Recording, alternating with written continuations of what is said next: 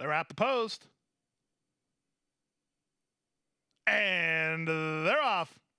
Rain of Blessing well served at the break. Here's Nixon F quickly on the go, and Nixon F will land a clear lead. From between horses, Interesting Gem is now second, and up between horses, our 10 Angels is third. Rain of Blessing comes away in fourth, and Tis Met, and Juanita R is last as Franklin Caius tries to harness the speed of Nixon F. Nixon F to the far turn leads by two and a half. Second interesting gem at the rail. R10 Angels is now third. Up to fourth goes Tismet inside of Rain of Blessing. Juanita R is last. Less than five sixteenths to go. Nixon F has been in front for a while now. She leads by two and a half. Interesting Gem is second. Our 10 Angels is third. Into the clear comes Tismet, launched four wide. Rain of Blessing. Juanita R has yet not keeping up at the moment. Nixon F still under confident handling.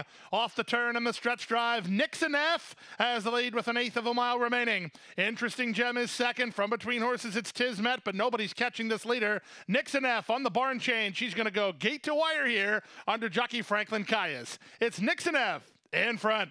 Interesting gem clings to the place. Tismet is third. Rain of Blessing, finish fourth.